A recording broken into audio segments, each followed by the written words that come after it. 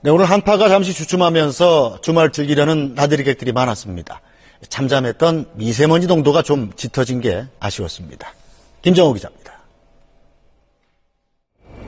모처럼 풀린 날씨에 등산객들의 발걸음이 가볍습니다.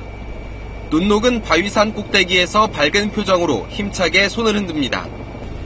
풀린 날씨에도 여전히 두껍게 얼어붙은 강 위에는 인파가 몰렸습니다.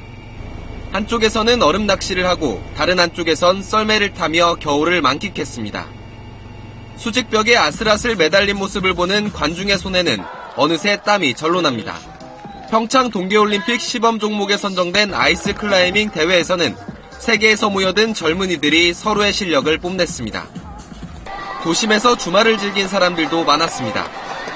친구와 손을 잡고 한 발 한 발 조심스럽게 앞으로 나가고 속도를 내려다 넘어져 엉덩방아를 찍기도 하지만 얼굴에는 웃음이 가시지 않습니다. 맨날 학원에 틀어박혀서 공부만 하다가 이렇게 친구들이랑 다 같이 나와서 스케이트 타니까 정말 스트레스 해소되고 정말 좋은 것 같아요.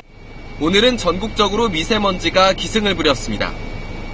오전부터 서울, 대구, 광주 등 전국 대부분 지역의 미세먼지 농도가 짙어져 외출을 자제해야 하는 나쁨 단계를 기록했습니다. 기상청은 내일 미세먼지 농도도 오늘과 비슷할 것으로 전망했습니다. SBS 김정우입니다.